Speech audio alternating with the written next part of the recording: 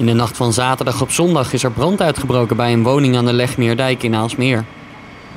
De brandweer riep de hulp in van omliggende korpsen en de Legmeerdijk werd in beide richtingen afgesloten om de brand te bestrijden. Het vuur was snel onder controle, maar er kon niet worden voorkomen dat de woning veel schade opliep.